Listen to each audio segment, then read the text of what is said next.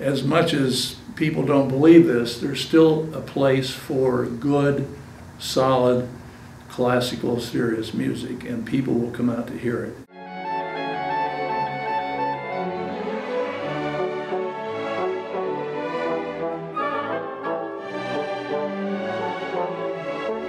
Uh, I'm Jake Slosser, and I've played bassoon, principal bassoon with the symphony since the early days.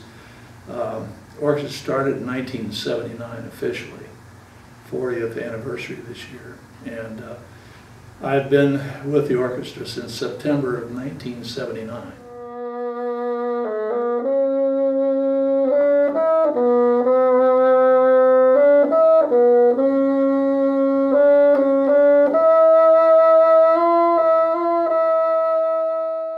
When it started in, in 79, 80, Glenn Mughal was a conductor for four years. He was a professor at the university, School of Music.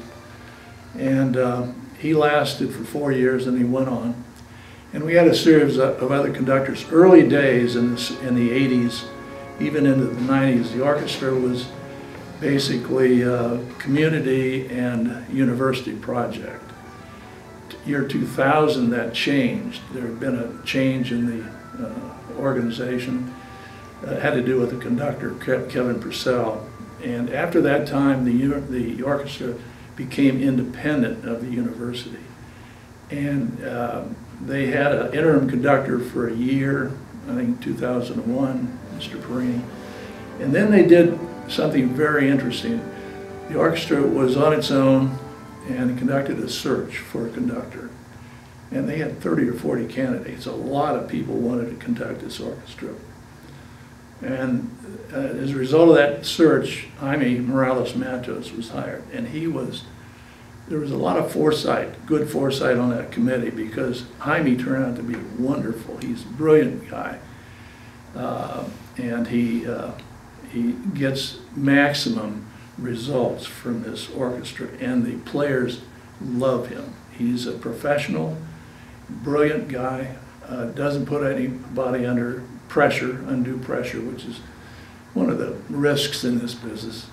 And he's, uh, he's led this orchestra for almost 20 years, and it's grown to really a, a professional uh, level orchestra. They've got many, many professional players and good amateur players in this orchestra. So it's, uh, it's been a great growth experience.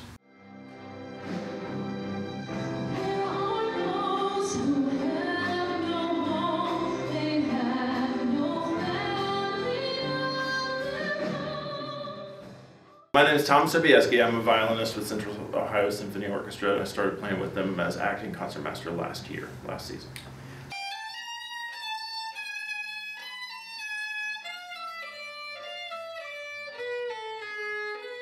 The orchestra is really quite good. There's a lot of enthusiasm in the orchestra. It's been around for 40 years, so that says a lot about the people who play in the orchestra who have been in it for a long time, and it says even more about the community around that supported the orchestra. Jaime's got a good vision for the orchestra. He likes to do really good rep, um, and that makes it fun for us and interesting for the audience. So, uh, moving forward, I would expect to continue playing really great music. Um, keep the enthusiasm amongst the players. There's a, um, a good spirit here in the orchestra, which is why I like playing with them.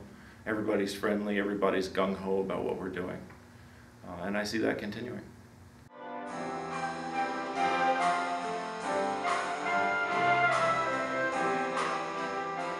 You hear that Central Ohio Symphony is out in its, its 40th season. What does that mean to you?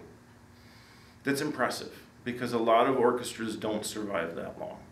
Um, that means there's enthusiasm within the community for the orchestra because we can't survive without the people around us. We need an audience. It's one thing to just play for ourselves, um, but we need an audience to come, and they do come, and the audiences here are great.